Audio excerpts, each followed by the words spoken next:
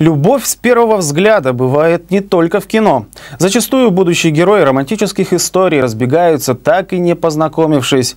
Что-то подобное произошло и в нашем городе, однако северодвинец решил не сдаваться и отважился на весьма необычный поступок.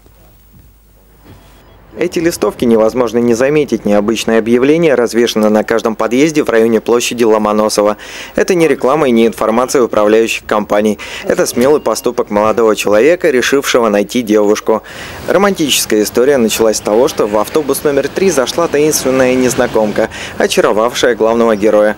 Проехав от Южной до площади Ломоносова, девушка исчезла во дворах. Однако молодой человек, не решившись подойти сначала, все же не сдался. Ну, если бы я нашла объявление такое, я бы позвонила молодому человеку и объяснилась бы, разузнала все. Почему ищет, с каким смыслом? Молодец. Ну, то есть он не то, что знакомится где-то в интернете, он в жизни стремится.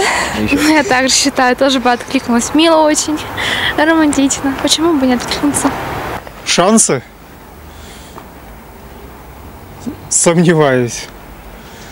Это все-таки приметы такие довольно распространенные.